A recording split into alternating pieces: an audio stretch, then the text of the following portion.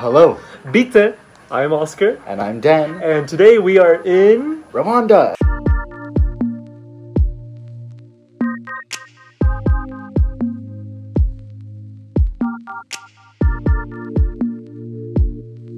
More specifically, Kigali. And you might have been hearing Rwanda pop up quite a lot in the media and on YouTube and everywhere in the past few years. And that is because Rwanda is developing at an insane speed. When a lot of people hear about Rwanda, they might think back to the 1994 genocide, which was, of course, very, very tragic and terrible for the country. But they have come a long, long way since then. So Rwanda is trying to become the Singapore of Africa, and in this video we're going to show you why Rwanda, and more specifically Kigali, because we have a few videos before this showing other things you can do in the rest of the country. We're going to be showing you why Kigali is such an incredible destination to explore, even if it's just for two days. It's a great place to stop. And many people who visit Kigali don't really know what to do because there's not a lot of tourism infrastructure. Most of the things to do are actually outside the city. Mm-hmm. So we're gonna show we had like in total five days or something. Yeah, we had quite a lot, a lot more than most people would spend in Kigali. For yeah, sure. so it ended up being like, what are we gonna do? But we figured out some really awesome things, found some really unique activities that we're gonna share with you in this video. The number one thing to do in Kigali that everyone pretty much does is go to the Genocide Museum. There's not much for us to add about it, but all we can say is that it's incredibly well done. We broke down in tears a few times in there. It's so worth a visit. The next thing that some people know about is the blooming art scene in Kigali, and there's so much local art to see. Oskar and I aren't really the biggest art people, but even we really enjoyed going to the local galleries and just walking around those neighborhoods.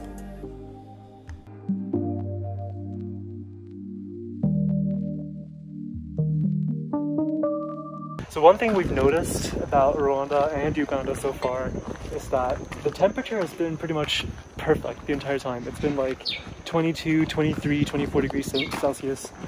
And it just feels so pleasant all the time and we're like, maybe this is what humans are supposed to be in, like this kind of climate. Another great thing about Kigali is that it is so safe. So we felt comfortable walking around pretty much anywhere. Of course, you have to make that judgment for yourself. As far as destinations go, Kigali was really quite walkable, and doing so allowed us to explore places we would have never seen otherwise.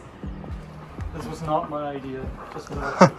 this was my idea to take a shortcut.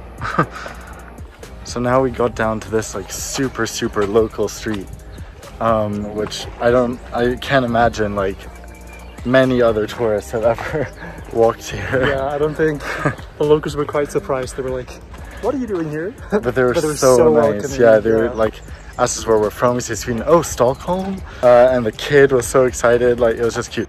Pretty crazy that this is the center of Kigali. Super modern apartment complexes and there's more construction going on right down here.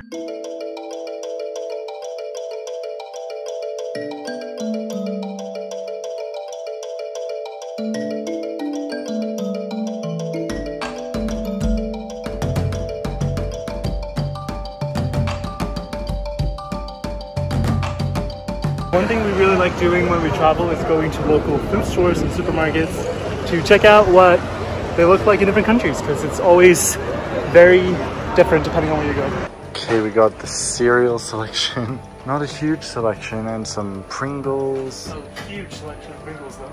Yeah, a huge um, amount of each of the three different types of cereal. And uh, it's very dark stuff. Which is actually, I don't think it's too expensive. This pasta is quite cheap. That's like 75 cents. But have a look at this. Yeah, peanut butter for ten dollars.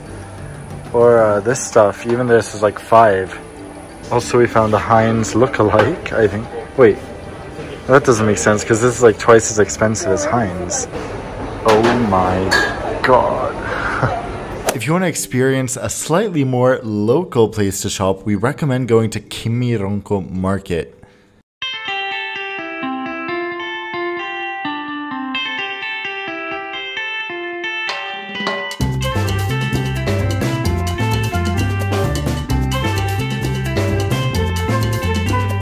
So we're going in here with our guide that we got. So here we have the tailors of the market. I guess they can sew you custom clothes.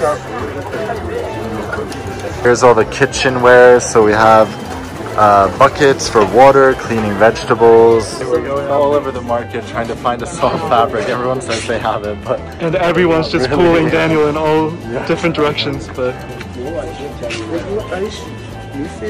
this is uh, softer. Yeah. While we were in the store, we ordered a taxi. So, pro tip: if you want to get a metered taxi in Kigali, you need to call 9191 or 1010, and you'll get a taxi with a meter, so you don't have to negotiate, won't be scammed. But um, it turns out even these ta- official taxis don't know directions sometimes to anywhere. And it seems like the guy that we have as a taxi driver has never used the GPS before ever in his life. So um, Yeah, it was so funny because we took it. He has a phone, and we took up the GPS on his phone, and he was looking at it so confused, like trying to figure out what to do with it. and we were trying to like explain like just drive and it will update, like it will just continue to show you directions and we just yeah, it would Yeah. So now we're headed to the Nyamirambo Women's Center, which hosts um, like different walking tours around the city and also a cooking class. We're going to the market with our guide Kevin.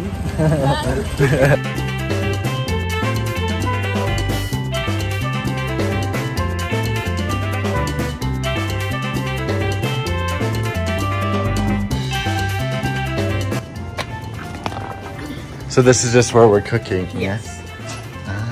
These are plantains or green bananas, in French. and these are cassava roots. Right? These are just regular potatoes, Yep. and these are some green vegetables. Uh, we call them dodo. Dodo. Yes, these are cabbages and uh, Loads of onions. Spending the day with our guide Kevin from the Nyamirambo Women's Center was the best thing we did in Kigali. Not only was the cooking so much fun, and it was really the best meal we had during our entire time in East Africa. Number three, and she is like on 10. but we also got a tour of the neighborhood and got to learn how a few different things work in the country. We might have seen some things that we were like, hmm, what is this? And Kevin explained it all. So it was such a cool activity. And not only was it affordable, but the money goes to a great cause. Oh, I got it. Whoa. nice. It looks so cool like this. I know, right?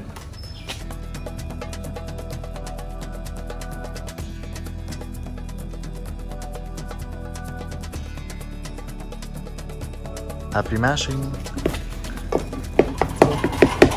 Dodo. Yes. Turns into a paste with the salt. Garlic paste.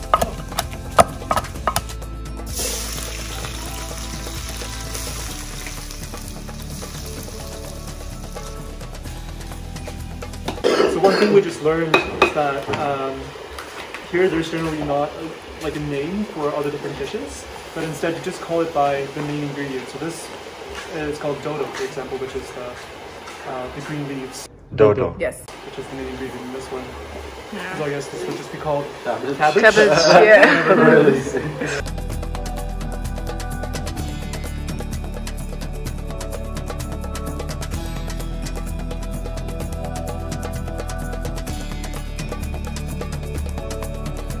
time has come to eat.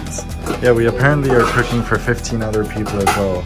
So I don't know how this meal looks to you, but every time I see it, I crave it so badly. And luckily, we got to take home a recipe book.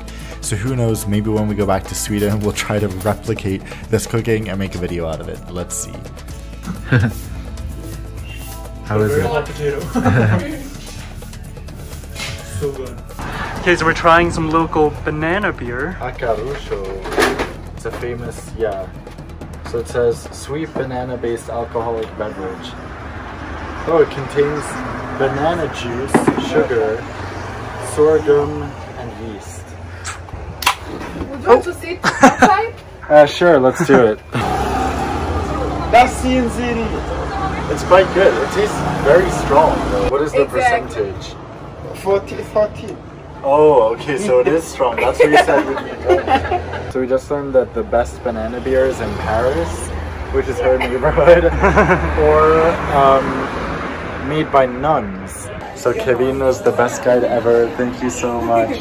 If you're here and you have Kevin, you're in luck. So while you may not get a lot of results when you Google uh, things to do in Kigali, there for sure are a lot of off the beaten path things that we really, really enjoy doing. So we hope this video could give you a glimpse into all those things that you could do if you visit the city. Thank you so much for watching, you guys. And until we see you all in the next video, Don't forget to live life full time. Dodo. Yes.